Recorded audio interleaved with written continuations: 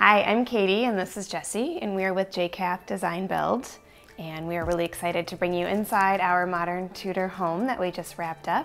We partnered with HanStone Quartz for all of the countertops throughout the entire home. We're here in the kitchen and we have their beautiful unearthed collection here on the island. This is Terra.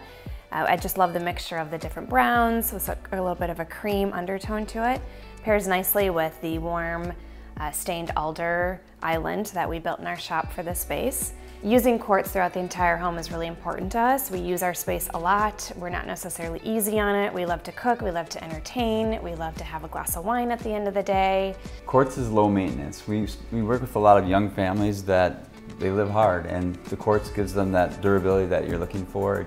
In the owner's suite, we wanted to keep things light and bright. It's definitely the theme that we were using in the space. Uh, so when selecting the countertop, Montauk was a very easy selection. It happens to be one of my personal favorites. Um, from HanStone, we use Montauk in just about all of our client projects. Charlie's bathroom features the Calacatta Gold. It was a newer release for HanStone. However, since we've put that in, I think we have three kitchens coming up in this year where we'll be featuring that countertop.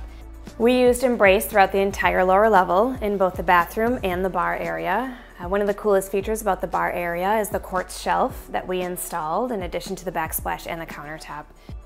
We were able to use a few new colors in a few different collections and a few different finishes throughout our entire home.